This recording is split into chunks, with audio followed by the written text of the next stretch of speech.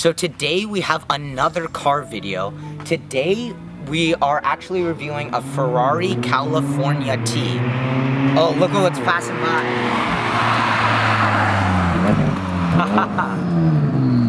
that is the car we reviewed in yesterday's video.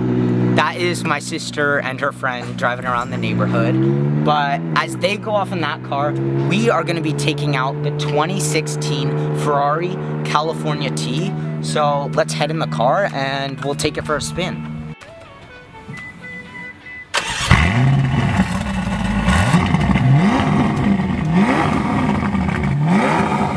Well the car we reviewed yesterday was a McLaren 570S. This is a Ferrari, but it's more of a luxury model. The whole top comes off. It has four seats and it's quilted leather seats. So it's actually like really comfortable and like a six foot four man could fit in here with plenty of legroom.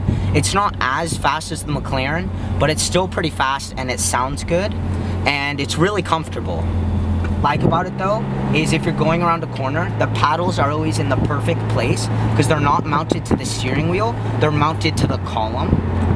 And then honking your horn, if you get upset at someone, that does absolutely nothing. Because when you're driving a race car, you're actually supposed to hold the steering wheel like so, and then the horn is right here. So that's a cool feature.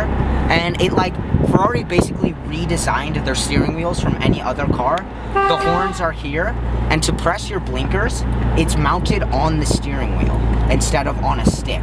There's no sticks at all, everything is on the steering wheel. The lights are right here, sport mode, traction control off, windshield wipers, everything on the steering wheel. So that's really cool.